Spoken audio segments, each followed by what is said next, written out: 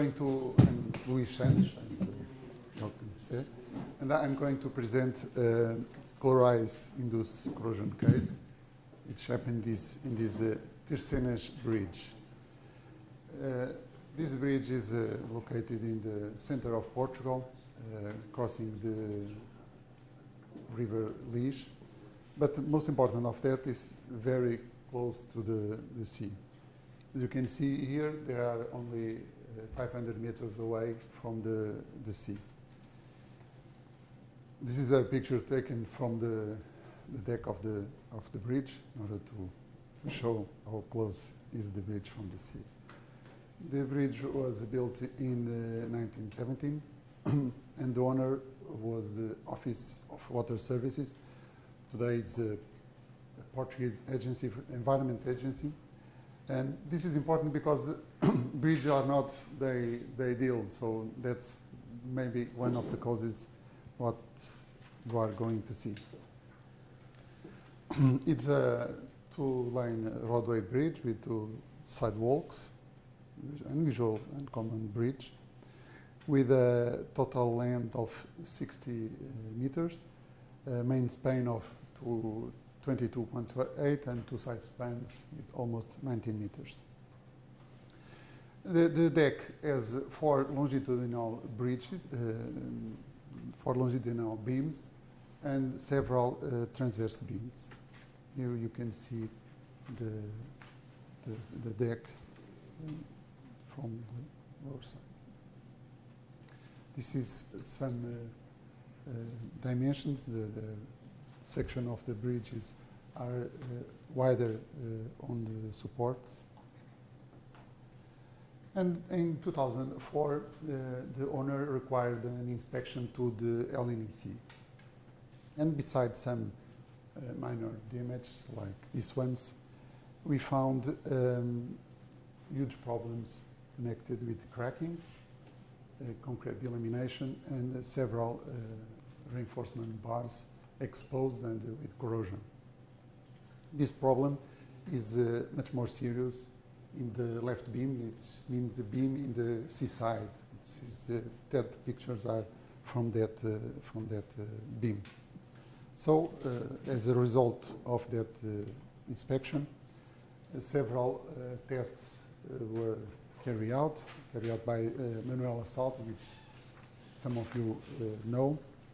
And uh, the on-site tests are uh, in order to evaluate the corrosion were uh, done in areas without apparent degradation of concrete in order to determine, uh, the, determine the concrete cover depth and also to measure the carbonation depth, the corrosion potential, the corrosion rate, and also the, the resistivity of concrete.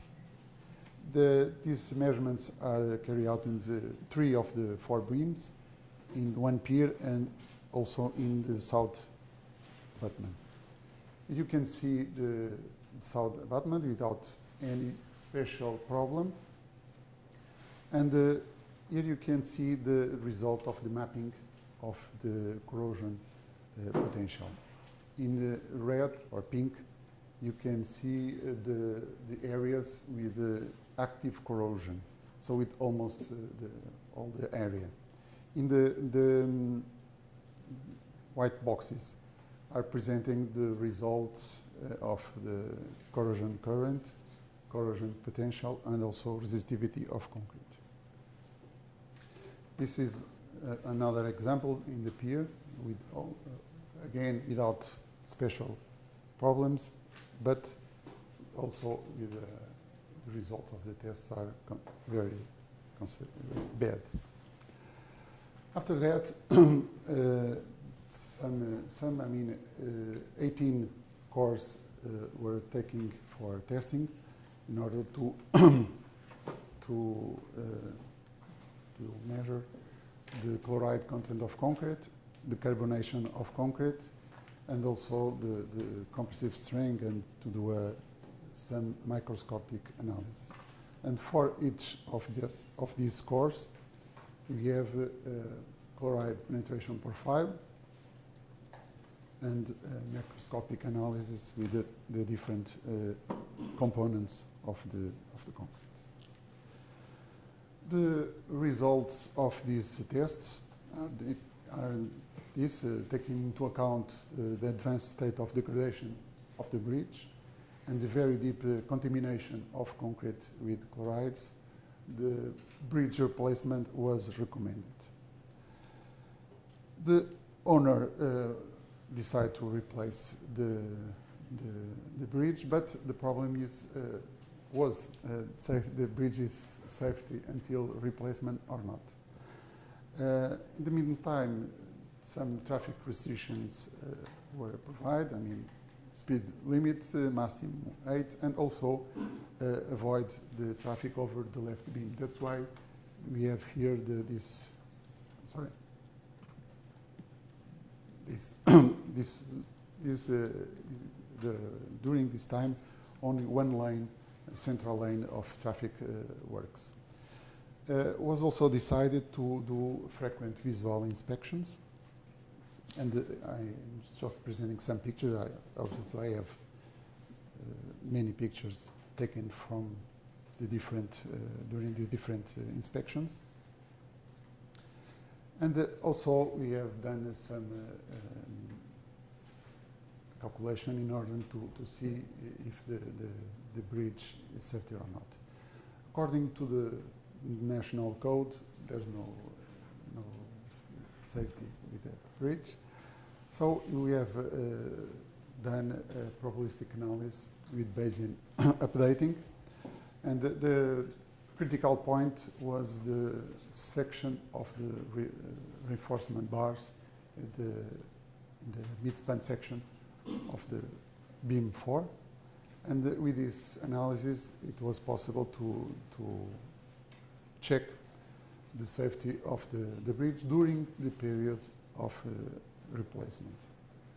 And finally, the bridge was uh, demolished in 2011, and a new bridge is built since 2014. And I, I would like to finish with this question. Is this case study valuable for a, a value of information analysis? Because we have uh, uh, a bridge with uh, huge problems that motivate the, its replacement with chloride-induced corrosion very, very serious. And we have also very many data from visual inspection, also from the different tests uh, that we have performed. But there's no structural monitoring system applied and uh, uh, the bridge was already uh, replaced. So this is the question with the, I would like to put the, to the audience. Thank you for your attention.